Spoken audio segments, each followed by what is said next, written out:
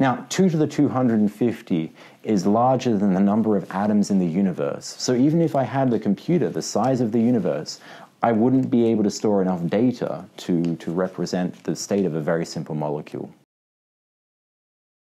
My name is Tom O'Brien, and I just finished my PhD studying uh, applications of quantum computing and how it might be good at how a quantum computer might be good at doing chemistry.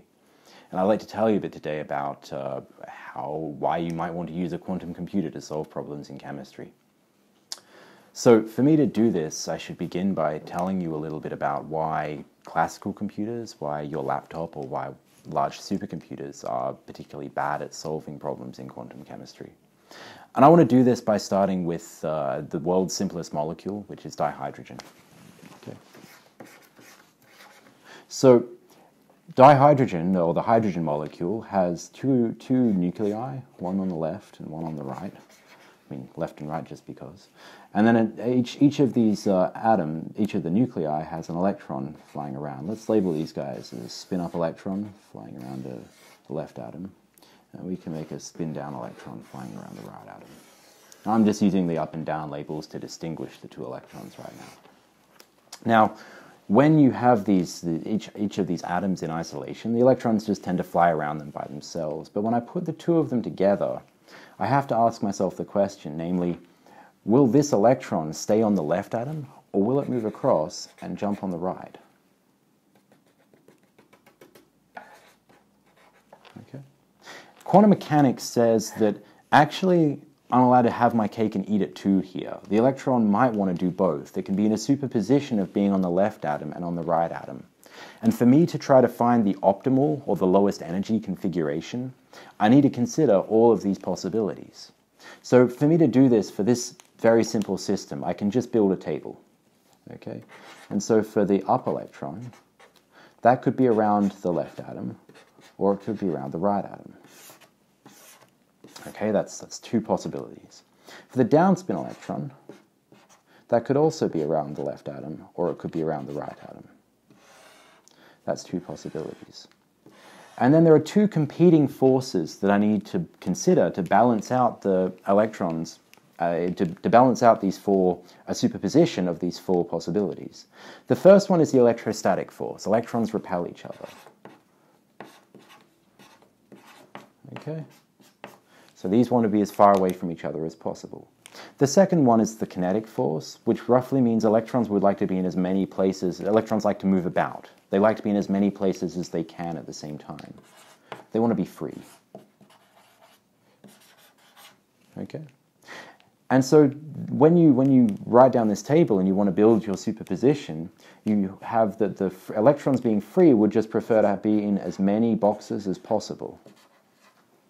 Okay? Whereas the electrostatic repulsion wants to force the electrons to either be up in this box, where you have one on the right and one on the left, or in this box down here, which has the same.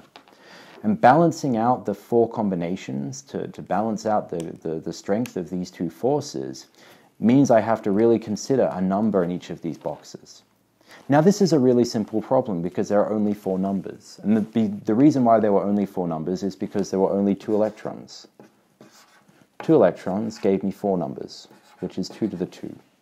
However, a relatively small molecule can still have hundreds of electrons. And at the point where I have 250 electrons, then this means I need to consider approximately 2 to the 250 numbers to describe the, the state of the entire system. Now, 2 to the 250 is larger than the number of atoms in the universe. So even if I had the computer the size of the universe, I wouldn't be able to store enough data to, to represent the state of a very simple molecule. So if I want to use a computer, then I have to do some kind of approximation to solve this, or a classical computer, my desktop. But a quantum computer avoids this by being an artificial molecule, and let me briefly show you how that occurs.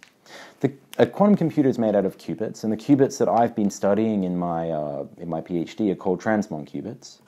Okay?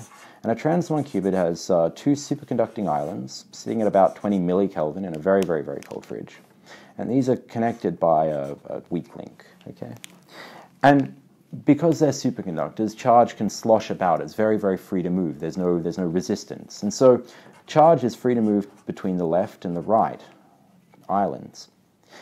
And the laws of quantum mechanics says that it does this coherently. The charge can be in a superposition of being on the left island and being on the right island.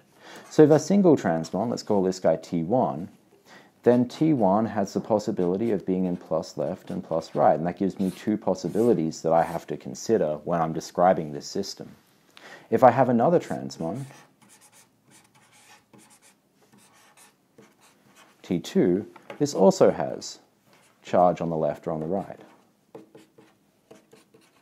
And you can see that I'm building up exactly the same table that I have above in exactly the same way. Because this is behaving like an artificial H2 atom. And so as I add more transmons to this system, it'll grow in exactly the same way as the electronic system has up here. So my research has been about trying to describe the control of this system and how to actually use it to, to, to mimic the artificial atom and use it to extract data from these, uh, these, these quantum systems so that we can, uh, we can get data out that we actually, we can solve problems that we actually want to, we actually find useful and so that we can deal with the, the noise that limits the precision of these devices and means that they can't they don't simulate uh, nature where, where the, the noise is uh, much well reduced.